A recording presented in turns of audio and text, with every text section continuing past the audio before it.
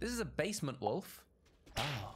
Oh. And here's there's a picture of the basement wolf. Quickly, look at it before it kills me. Let's freeze him so we can get a better look at him. Oh, and there he is. There he is. Simple and elegant. The basement wolf.